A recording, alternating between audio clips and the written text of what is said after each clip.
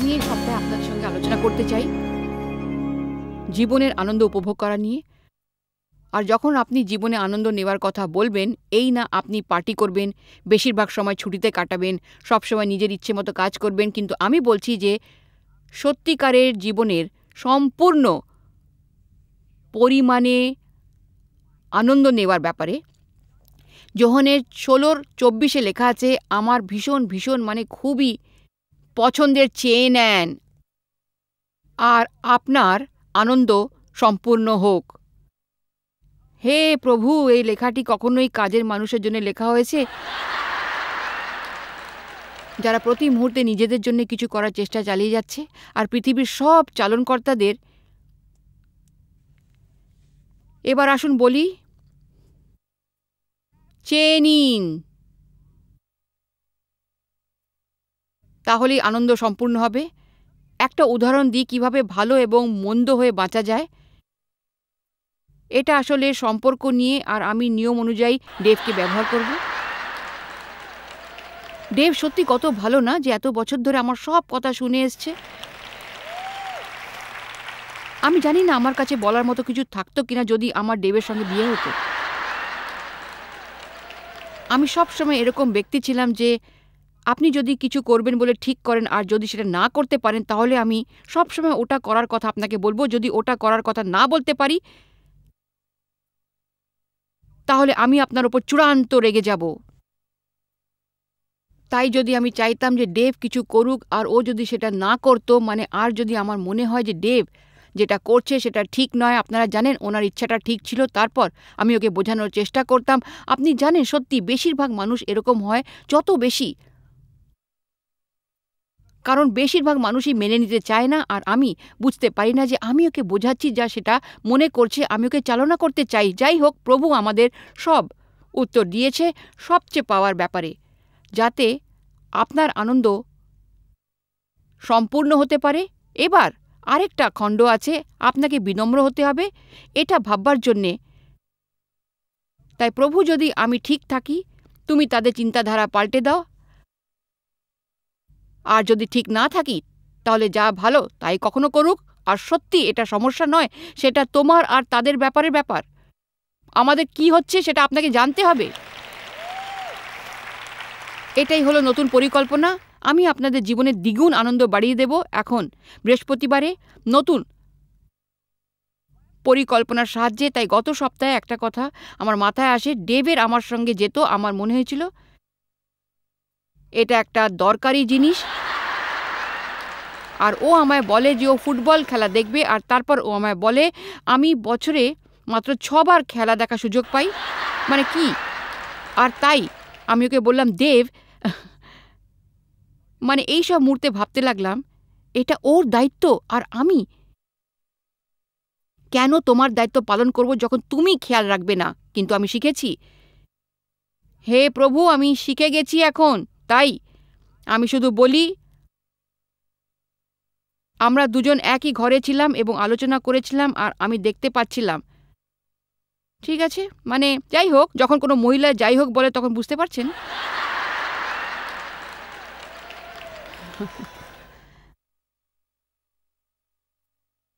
আপনার ছেলেরা এটা কখনই এটা অনেকটা আপনি ওনাকে জিজ্ঞেস করলেন, কি হয়েছে? আর উনি বললেন কিছু হয়নি। একজন মহিলার কাছে কিছু না মানে কিছু না নয়। কিছু না মানে অনেক কিছু মানে হলো ওনার ধৈর্য। শেষ হয়ে গেছে।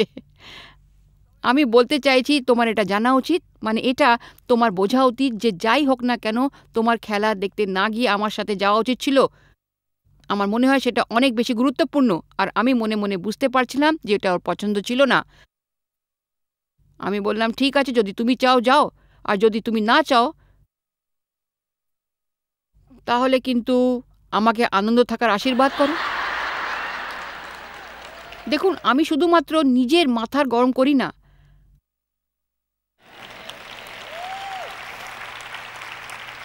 বাঁচার নতুন কায়দা, আমি আর রেগে যাব না, আমি আনন্দে বেঁচে আছি। আর আমি ওর পাশ দিয়েই ওর মাথায় খামচে দিই মানে আমি আমার ক্ষমতার চেয়ে বেশি ভালো হওয়ার চেষ্টা করি। আপনাকে সব কিছু করতে হবে সেটা ভাববার কোনো দরকার নেই, কিছু করলেই হবে, কারণ আপনার মনে হওয়া উচিত যে এটা আপনার, তা এইভাবে দশ মিনিট লেগে যাবে। আমি ফুটবল খেলার টিকিটগুলো অন্য কাউকে দিয়ে দেব আর তোমার সঙ্গে নিয়ে যাব।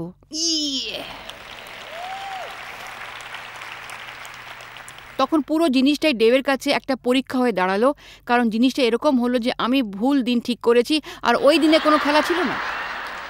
কিন্তু আমি বললাম, সুখবরটা হলো আমি পরিষ্কার উত্তীর্ণ হতে পেরেছি, আর তুমি প্রশ্চিষ্ট করার সুযোগ পেয়ে গেছো, আর তোমরা দুজনেই উপহার পেয়েছি, আর এখন আমাদের এটা করার কোনো দরকার নেই।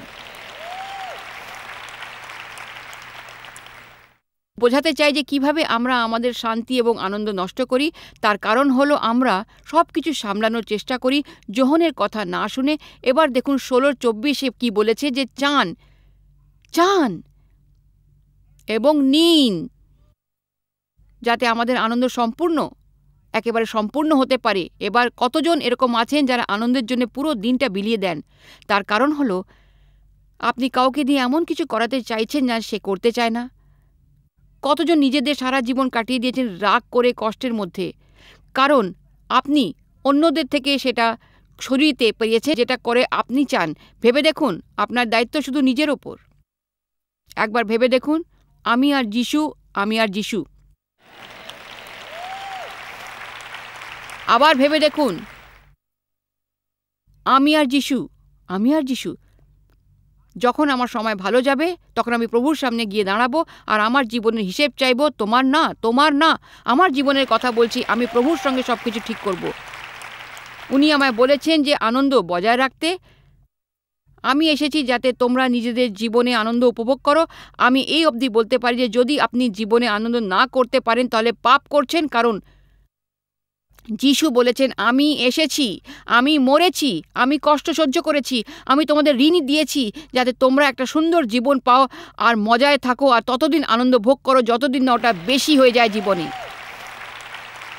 আর আমার মতে আমার যিশুর কাছে আমাদের আনন্দ দেওয়ার জন্য ঋণী।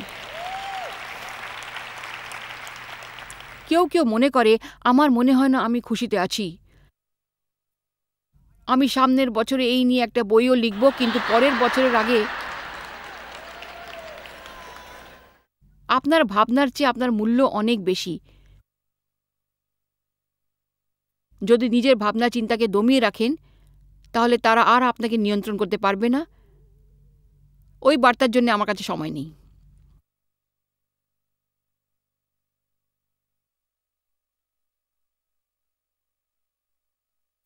যোহন সতেরো তেরো, কিন্তু আমি এখন আমার নিকটে আসিতেছি আর জগতেই সকল কথা কহিতেছি, যেন তাহারা আমার আনন্দ আপনা দিগতে সম্পূর্ণ রূপে প্রাপ্ত হয়। আবার বলি, যেন তাহারা আমার আনন্দ সম্পূর্ণরূপে প্রাপ্ত হয়। এবার আমি চাই, সবাই চিৎকার করে বলুন, প্রভু আমায় খুশি দেখতে চান। ভালো কথা। কতজন মনে করেন যে পুরো পৃথিবীতে অভিজ্ঞতা আছে? আসলে আনন্দ এবং খুশির, যার কথা যিশু বলেছিলেন, আমি বলতে পারি, আমার এখন অনেক বেশি অভিজ্ঞতা আছে। আগে যা ছিল তার তুলনায়, কিন্তু তবুও আমি আরও জ্ঞানপ্রাপ্ত হতে চাই। যদি আমরা জ্ঞান না নিতে চাই, তাহলে আমাদের মধ্যে কোনো ভুল জিনিস আছে? আর আমার জীবনে এমন সময়ও এসেছে যখন আমাকে বলতে হয়েছিল, আমার ওটার বেশি অভিজ্ঞতা নেই মানে শয়তানের ক্ষেত্রে আমার আনন্দ করে কেড়ে নেওয়ার জন্যে এতটাই সহজ ছিল। আমিন আমাদের এই প্রসঙ্গে আসা উচিত যে যদি শয়তান আমাদের আনন্দ কেড়ে নেয়, তাহলে ওকে অনেক সদ্য সাধন করতে হবে। বহুবার আমার অর্জনের সহজে পাব না। আর আমি আশ্চর্য হই ভেবে আমি কয়েক মিনিট কথা বলব টিভির দর্শকদের কাছে, আমি শুধু ভাবি, কজন আছেন এমন? যার এই অনুষ্ঠানটা আজ দেখার কোনো ইচ্ছেই ছিল না বা নিশ্চিত ছিলেন না যে এটা দেখবেন কি না মানে হঠাৎ চ্যানেল পাল্টাতে থাকেন আর দেখেন কোনো মহিলা মঞ্চের ওপর দাঁড়িয়ে ভাষণ দিচ্ছে, ওর কি মনে হয়?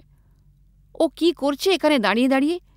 কিন্তু আসল কথাই আপনাদের কিছুটা মনোযোগ আনতে পেরেছি, তাই তা কারণ আপনার নিজের জীবনে খুব বেশি একটা আনন্দ নেই। আপনি হয়তো ভাবছেন না কেন আমি আপনাদের এই কথাগুলো বলছি। চোর আসবে চুরি করতে, মারতে এবং ধ্বংস করতে। আপনার শত্রু আসবে, আপনার শয়তান, কিন্তু যিশু বলেছে, আমি এসেছি আমি এসেছি যাতে তোমরা নিজেদের জীবনে আনন্দ উপভোগ করতে পারো। যদি আপনি মন খুলে বলেন এবং যিশুকে এমন করেন, পরিস্থিতি মূলত পাল্টে যেতে পারে আপনার জীবনে। আমাদের বেঁচে থাকার চেয়ে আরও অনেক বেশি কিছু। আমি এরকমভাবে খ্রিশ্চান হয়ে অনেক বছর কাটিয়েছি। এমনকি এই সংগঠনের একজন ব্যক্তিও ছিলাম। আমি অনেক বছর এরকম কাটিয়েছি। শুধু নামেই আমার অস্তিত্ব। সেটাই আমি কাটিয়ে আসার চেষ্টা করেছি দিনের পর দিন। এমন না যে আমি পুরোপুরি অসুখী ছিলাম। কিন্তু আমি সম্পূর্ণরূপে খুশিও ছিলাম না। মানে আমাকে খুশিতে থাকার আপ্রাণ চেষ্টা করতে হতো আমার পরিস্থিতি। ভালো হওয়া চাই যাতে আমি খুশি থাকতে পারি। কারোর কিছুই করার ছিল না, আমি নিজেই আনন্দে ছিলাম না। আমরা সবাই জানি যে এটা কল্পনা এবং গল্প। আর যদি ওটা এখনও অবধি না বুঝে উঠতে পারেন, তাহলে অগ্রাতেই আপনার এটা বুঝে নেওয়া উচিত। আপনার ছোট জীবন কখনোই সঠিক হবে না। আমি কিছু লেখা আপনাদের পড়ে শোনাতে চাই, কারণ এগুলো আমার খুব সাহায্য করেছিল যখন আমি বুঝতে পারছিলাম না। উপদেশক বলেছিলেন, দুয়ের চব্বিশ আর পঁচিশে যে ভোজন পান করা এবং নিজ পরিশ্রমের মধ্যে প্রাণকে সুখভোগ করানো ব্যতীত আর মঙ্গল মানুষদের হয় না। আমার খুব প্রিয় এটা। নিজেকে বানাও আর আমাকে এটা করতে হবেই। আমাকে নিজেকেই করতে হয়েছে। আমি ঠিক করেছিলাম। আমি এটা ধরে বসে থাকব না। আমি এর থেকে আনন্দ উপভোগ করব। আমি শুধু এই বাড়িটা পরিষ্কার করব না। আমি অনেক কাজ করব, আনন্দ উপভোগ করব। আমি শুধু সন্তানদের বড়ই করব না। আমি এদের সঙ্গে আনন্দ করব ভীষণভাবে। আসুন, বলুন আমার সঙ্গে। এটাই তো সিদ্ধান্ত। আর আমার খুব ভালো লাগল এই কথাটা। ভোজন, পান করা পরিশ্রমের মধ্যে প্রাণকে সুখভোগ করানো ব্যতীত আর মঙ্গল মানুষের নেই। এতে দেখছি। উপদেশক চারের সাত আর আট। একজন আছেন এরকম যিনি সব কিছুই ভুল করেছেন। তখন আমি ফিরিয়া সূর্যের নিচে অস্থিরতা নিরীক্ষা করিলাম, দম্ভ মানে অকাজের। কোনো ব্যক্তি একা থাকে, তাহার দ্বিতীয় কেহ নাই, পুত্র নাই, ভ্রাতাও নাই, অথচ তার পরিশ্রমের কোনো সীমাও নাই। তাহার চক্ষু ধনে তৃপ্ত হয় না, তবে আমি কাহার নিমিত্ত পরিশ্রম করিতেছি? কতজন বলতে পারে যে এই ব্যক্তি আনন্দে ছিলেন না? উনি তাদের মধ্যে ছিল না যারা জীবনে আনন্দ করেছে এর কারণটা কি জানেন তো? উনি, আপনি ওই লেখাগুলো পড়লে তাহলে তিনটে জিনিস জানতে পারবেন। প্রথমত, উনি জীবনে কখনোই সম্পর্ক গড়ে তোলার চেষ্টা করেননি। উনি একা ছিলেন, কোনো সন্তান ছিল না তার, কোনো ভাই পরিজন কেউই ছিল না তার, শুধু কাজের মধ্যেই তার জীবন কাটত। মানে প্রতি মুহূর্ত কখনোই বুঝতে পারিনি আনন্দের সহিত জীবন কাটানো, কাকে বলে বা যাই হোক মানে পাশ্চাতে মানে যেই সংস্কৃতি আমরা পাই, কাজকে খুবই অন্যের নজরে দেখা হয়। আমরা যেভাবে দেখি তার ঠিক বিপরীত। পৃথিবীর বেশিরভাগ স্থান যেখানে আমি গেছিলাম, সম্পর্ক তাদের কাছে সবচেয়ে বেশি দামি। টাকা আয় করার চেয়েও দামি। আর আমাদের বুঝতে হবে যে আমরাও পৃথিবীতে বাস করি। কিন্তু আমাদের এরকম হওয়া উচিত না, একদমই নয়। তাই পৃথিবীতে যা চলছে, তা আমাদের মেনে নিতেই হবে। প্রভুর বাক্যের সাথে এর তুলনা করেন, আর প্রভুর বাক্যের জয়ই সবসময় হয়। আর বাইবেলে বলেছে হ্যাঁ আমাদের কাজ করা উচিত, কিন্তু সব কিছুতে ভারসাম্য বজায় রাখাটাও উচিত। আর যদি ভারসাম্য বজায় না রাখতে পারেন, তাহলে আমরা জীবনের সমস্যায় পড়ব চারবার জন্যে কাটিয়েছি এবং শেষে একাই থেকে গেছেন, পরিবার ছাড়া। আর আমি এটা আবার শুনেছি আর ভালো লেগেছে, যখন আপনি মৃত্যুর শয্যায় থাকবেন, আপনি ব্যাংকে কত টাকা আছে সেটাই দেখবেন।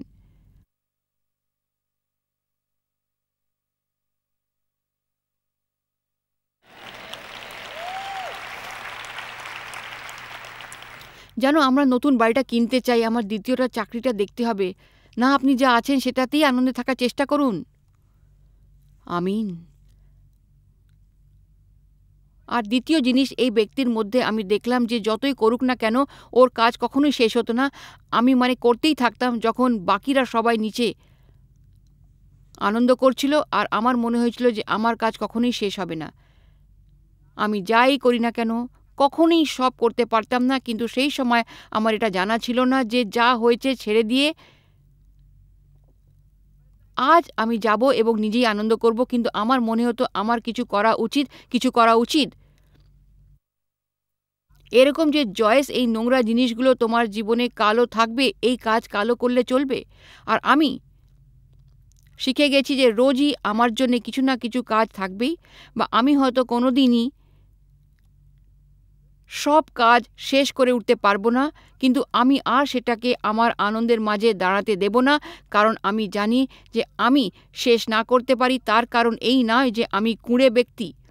যতক্ষণ না আমি ক্লান্ত হয়ে ততক্ষণ আমি কাজ করব। আর আমার কিছু যায় আসে না এতে যে অন্যেরা কী ভাবে? আমি কাজ ছাড়া নিজের জীবনে অন্য কিছু ভাবি না, আমি সংগঠন থেকে যাই, আসবে তাতেই আমি খুশি থাকব হ্যাঁ শুধু হ্যাঁ আর কিছু নয়।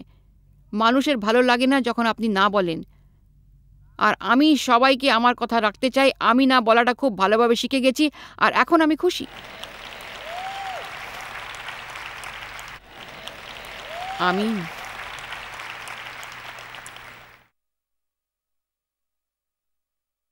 আরেকটা জিনিস যা আমরা এই মানুষের ব্যাপারে জেনেছি, তা হলো উনি খুবই ধনী ব্যক্তি ছিলেন, কিন্তু উনি কোনোদিনই নিজের কাছে থাকা জিনিসটার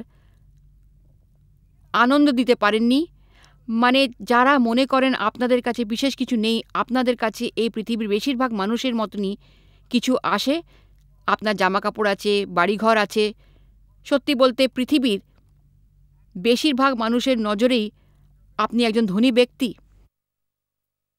একজন একাকী মানুষের কাছে এখন কাউকে পাওয়া যে তার সাথে বসে খাবার খাবে, তাতেই আপনি ধনী ব্যক্তি হয়ে যাবেন। যদি আপনার কাছে পরিষ্কার জল থাকে পান করার জন্যে, আজ এই কাজটাই পৃথিবীর অনেক মানুষের কাছে আপনাকে ধনী ব্যক্তি বানিয়ে দেবে। আমাদের সমাজে এত কিছু আছে। কিন্তু দুঃখের বিষয় হলো, আমি এরকম মানুষদের দেখেছি যাদের কাছে খুব অল্প, খুবই অল্প সব কিছু আছে। কিন্তু তারা এই অল্প নিয়েই আমাদের থেকে অনেক অনেক বেশি খুশি আমাদের তুলনায় অনেক বেশি আনন্দে আছেন, অনেক বেশি আনন্দে আছেন। আর এটা আমাদের চিন্তা ভাবনা এটাই আমাদের বেঁচে থাকার কায়দা। কখনো কখনো আমাদের মধ্যে লোভী মনোভাব চলে আসে আর আমরা ওটা আদায় করতে পাগল হয়ে যাই, যাতে এরপর আরেকটা পেতে পারি, আরেকটা পেতে পারি। আমাদের মধ্যে এটা কিসের চাহিদা? আর আমার মতে প্রভু তার শিষ্যদের আশীর্বাদ করতে চান, আমি এটা বিশ্বাস করি। আমি বিশ্বাস করি যে প্রভু আমাদের আশীর্বাদ করতে চান আর আমি এটা আপনাদের বলতে চাই যে উপদেশক পাঁচটা দেখুন। আঠেরোর উনিশে দেখুন, আমি দেখিয়াছি, ইহাই উত্তম ও মনোরঞ্জক। ঈশ্বর মনুষ্যকে যেই কয়েকদিন পরমায়ু দেন, সেই সমস্ত দিন সে যেন সূর্যের নিচে আপনার কর্তব্য। আমার দিকে দেখুন, আমি কিছু বলতে দিন। আনন্দে থাকার সিদ্ধান্ত নিন নিজের কাজে, আর যদি মজা না করতে পারেন, তাহলে এমন কাজ খুঁজুন যাতে আপনি খুশি থাকবেন। গাড়ি আছে, এটা বলার জন্য চালাবেন না। আমি ট্রাফিক অপছন্দ করি। আমি কাজ করাটা পছন্দ করি না। আমি শুক্রবার অবধি অপেক্ষা করতে পারব না। আমি এই জায়গাটা অপছন্দ করি। আমি আমার বাড়ির পারিপার্শ্বিক এলাকা অপছন্দ করি। ধূত কি? আমি আমার প্রতিবেশীকে অপছন্দ করি। আর কাজে গিয়ে বলবেন না? আমি কাজ ভালোবাসি, প্রভুর অসীম কৃপা যে আমি চাকরি পেয়েছি। যেখানে কাজ করি, ওখানে আমি সবচেয়ে খুশি ব্যক্তি হব, আমি ওখানে সবচেয়ে বেশি কৃতজ্ঞ হব। এটা কোনো বোঝানোর কথা নয়, এটা হলো প্রভুকে সম্মান জানানো। আর এটা হলো আমাদের জীবনে এবং স্বভাব দিয়ে তার পুজো করা, আর যদি আপনি খুশি মনে মেনে না নিতে পারেন, তাহলে উনি ফেরত নিয়ে নিতে পারবেন, আর অন্য কাউকে দেবেন। দেখুন, আমার জীবনটা খুশি, সুন্দর, কিন্তু তবু অনেক দিন আমাকে স্বার্থে খুশিতে থাকতে হয়, কেন জানেন কারণ? আমাদের সবার মধ্যে রক্ত, মাংস আছে, আর আমরা বোকা, যাই থাকুক না যে। ভেতরের মানুষটা বলে যে শুধু চাই, আরও চাই। আরও অনেক চাই, আর আপনারা যতই করুন না কেন। সেটা কখনোই আপনার চোখে যথেষ্ট হয় না। দাঁড়ান, আমি যেটা মনে করি সব জানি।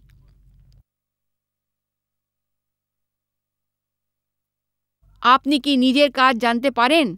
যদি বাড়িতে থাকতেন যে এটাও কাজ, কিন্তু আপনি যাই করুন না কেন? ওটা আপনার জীবনের একটা অনেক বড় অংশ মানে আপনি দিনের অনেকটা সময় কাজে ব্যয় করেন, তাই দয়া করে ওটাতে আনন্দ উপভোগ করার সিদ্ধান্ত আপনাকে নিতেই হবে আর আপনি যে কোনো কিছুতে আনন্দ পেতে পারেন। যদি প্রভুর থেকে আনন্দ পান, আপনাকে সব পরিস্থিতি ভালো লাগিয়ে নিতে হবে বা সবাইকে যারা আপনার জীবনে আছে, কিন্তু একটা পথ খুঁজে নিন, প্রভুর দ্বারা আনন্দে থাকার, নিজের মুখে হাসি ফোটান আর আনন্দে জীবন কাটাতে শুরু করুন, কারণ যিশু মরে গিয়েও একটা আমাদের দিয়ে গেছেন আর সেটা হলো, আপনারা জানেন কেউ কি আমার কথা বুঝতে পারছেন? আমি কি বলছি? উনি মৃত্যু বরণ করেছেন আমাদের আনন্দ দেওয়ার জন্যে। এমনকি এই সংগঠনে এরকম মানুষ আছে, যারা সংগঠনের মধ্যে থেকেও আনন্দ উপভোগ করতে পারেন। এখন ওদের সংগঠন আছে, এই সব কাজ আমার সব পরিকল্পনা। এই সব মানুষ যাদের খেয়াল আমি রাখি, আমার জন্যই তো সব হচ্ছে। আমিন। সিদ্ধান্ত নিন এবং সেটাই করুন। যে জীবনে প্রতিদিন আপনি আনন্দ নেবেন, প্রতিদিন। এবার একটা কথা বলি, করুণা, আবার এই নিয়ে আমরা কাল আলোচনা করব। জীবনের বেশিরভাগ অংশটাই সাধারণ আর আমাদের অপেক্ষা থাকে কিছু চাইবার, বুঝতে পারছেন? হু! এটা আমাদের পাওয়ার দিন, হু! আমরা খুশি হব শুক্রবার আসলে। হু! হু! এটা হলো পাওয়ার দিন। আমরা বাইরে বেরিয়ে আমাদের সব অর্থে ব্যয় করতে পারি, যাতে পরে আমাদের কাছে অবশিষ্ট না থাকে। এবার তাহলে বলুন, হু! আমার জন্মদিনে কেক খাব। হু! হু! এটা ধন্যবাদ জানানোর, আমরা খেতেই থাকি যতক্ষণ না আমরা আর হাঁটতে পারি না। তাই কি না আমার সঙ্গে কেউ একমত? হু, আমার ছুটি পড়তে চলল, হু, আমি আজ খুব খুশি, হু, আমি আজ বেড়াতে যাব, হু। কাজে যেতে হবে, আমার কাজ পছন্দ নয়, আমি এই ট্রাফিক পছন্দ করি না, এই বোকা গাড়িটা পরিষ্কার করতে হবে, এই যে বাক্সে আমি থাকি সেটা আমার পছন্দ নয়, এখানে কেউ কোনো কাজ করে না, হু, আজ শুক্রবার, হু। আমাদের এটা ঠিক মতো মেনে নিতে হবে যে সঠিক স্থানে আনতে হবে। জীবনের সব কিছুতে আনন্দ নিতে শিখুন। সব কিছু যাই আসুক না কেন। এবার বাড়ির কাজের ব্যাপারে কথা শেষ করতে হবে। সবাই এটা করতে পারবে, এমন কিছু কঠিন না। আমি আপনাদের একটা গোপন কথা বলি। আচ্ছা আপনারা গোপন কথাটা জানেন কি? আপনি জীবনে কোনোদিনই আনন্দ করতে পারবেন না যদি নিজে আনন্দ উপভোগ করতে না জানেন।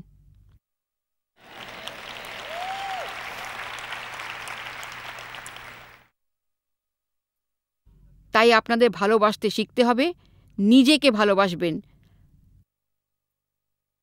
বন্ধু, আমি এই কাজ করি না, আমি ওই কাজ করি না, এটা ভালো লাগে না, ওটা ভালো লাগে না। মানে এটা কোনো ব্যাপার নয়, আশ্চর্য হবার মতো। কেন করবেন না আপনি? সব করতে পারবে আপনাকে। নিজেকে তৈরি করুন সেভাবে। সবাই ঝামেলায় জড়িয়ে আছি। আমিন। সিদ্ধান্ত নিন যে আপনি জীবনে আনন্দ নেবেন, নিজেই আনন্দ নিন, প্রভুর সঙ্গে আনন্দ নিন, আমি অনেক কিছু শিক্ষা পেয়েছি অনেক জায়গা থেকে এবং এই জন্যেই আমি এই সাতটা বলেছে কীভাবে জীবনে আনন্দ করা যায়, আর আমার এটা খুব পছন্দ। কখনো প্রভুর প্রতি ভুল ধারণা আনবেন না বা এত ব্যস্ত হবেন না যে নিজের আধ্যাত্মিক কাজগুলো করলেই হবে, কিন্তু প্রভুর সঙ্গে থাকার আনন্দ করেন না। আর ওনাকে সব কিছুর মধ্যে আহ্বান জানান না, আপনি জীবনে করবেনটা কি? দেখুন, ওটাই একমাত্র পথ জীবনে আনন্দ করার। দেখুন, ঘর পরিষ্কার করা কাজটাতে আপনি আনন্দ পেতে পারেন, প্রভুর সঙ্গে বজায় রাখতে পারেন আনন্দ। আপনি আনন্দ পেতে পারেন অবশ্যই। গাড়িতে তেল ভরা, ঘাস কাটা, যদি আপনার মনোভাব ঠিক থাকে আর আপনি বলবেন, প্রভু, আমি এইসবে আনন্দ পেতে পারি যদি আমার সঙ্গে তুমি থাকো আর তুমি আমার আনন্দ। আমিন। আসলে প্রভুর গুণগান। প্রভু চান যে আপনি জীবনের প্রতিটা দিন আনন্দের সঙ্গে কাটান আর কখনো আপনাকে জানতে হবে কীভাবে সেটা করা হয়। আপনি জানেন না যে জয়েস মায়ের মিনিস্ট্রিজের কাছে আপনি কতটা মূল্যবান। পৃথিবীব্যাপী এই মিনিস্ট্রি গড়ে তোলার জন্য বন্ধু ও অংশীদারদের প্রশংসা করি ও ধন্যবাদ জানাই। একসঙ্গে আমরা ক্ষুধার্তকে খাদ্য দিচ্ছি, দরিদ্রকে বস্ত্র দিচ্ছি আর জাতির কাছে বাণী পৌঁছে দিচ্ছি। আজই আমাদের সঙ্গে যোগাযোগ করুন বা ভিজিট করুন জেএমএম ইন্ডিয়া ডট অর্গে প্রার্থনার অনুরোধ করতে, আমাদের উপাদানগুলো সম্পর্কে জানতে জয়েসের সম্মেলনের দিনলিপি দেখতে আর অংশীদার হতে, কারণ সারা বিশ্বের সঙ্গে প্রভুর ভালোবাসা ভাগ করে নিচ্ছি আমরা।